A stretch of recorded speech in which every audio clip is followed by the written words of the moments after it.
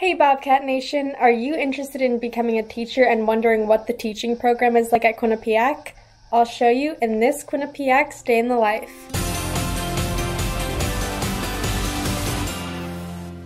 My name is Stefanie and I'm from New York and I'm majoring in interdisciplinary studies for elementary education with a minor in psychology. I always kind of knew I wanted to be a teacher. I was just really passionate about working with kids and inspiring them to want to learn. I think this program really solidified my love for teaching. Also, I decided to minor in psychology because I thought it would be really beneficial kind of understand the students' minds. I think Quinnipiac has been an amazing fit for me. All the professors have been by my side step by step. They really prepare you for the future and I feel 100% ready to get into the classroom. I'm about to leave for my first and only class, which is cognitive psychology. It talks a lot about the brain, what kind of goes on, and it's really beneficial to my major. I wanted to talk about our Future Teachers organization. I'm currently the president of the organization.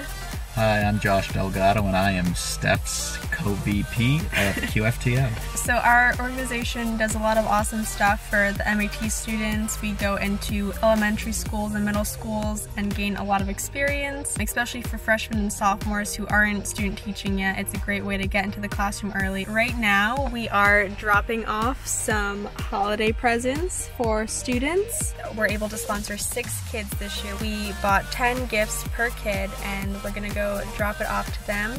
It's for kids whose parents aren't as fortunate enough to buy them presents for the holiday season, so we are happy to help when we can. So I just finished getting ready for my field study. I'm going to Fair Haven School. I'm in a sixth grade class. We observe the teacher teach the lessons, we take notes, we help the students one-on-one. -on -one. I go there once a week for two hours. Both juniors and seniors do their field study. Juniors mostly observe and seniors get the chance to be more involved in the classroom. Today I was in a science and social studies class and I was just helping the students do their work.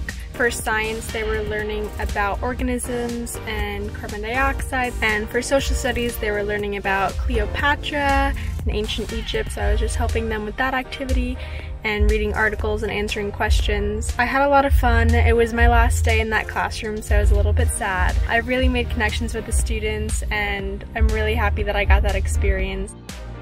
I wanted to tell you a little bit about how Quinnipiac sets up the field study program. Junior year, you would be in a suburban area and senior year they like to put you in an urban area just so you get to have both experiences so you're prepared for whatever may come. Also, senior year, if you are majoring in elementary, the first semester you'll be given upper elementary. So for example, I'm in sixth grade. But next semester I'll be getting lower elementary, so that's like first through fourth. That's also really great that they let you get all of those different experiences so you can kind of figure out what you like.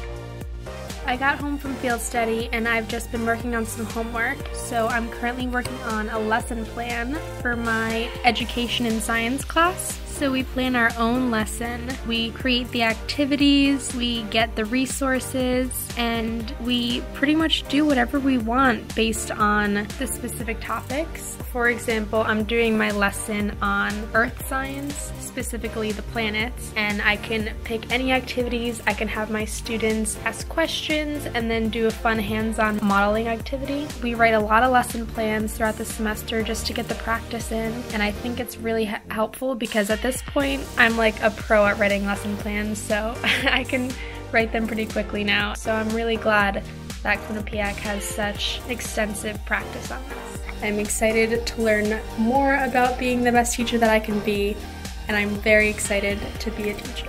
Be sure to check out other Quinnipiac Day in the Life videos to see Quinnipiac all for yourself. Go Bobcats!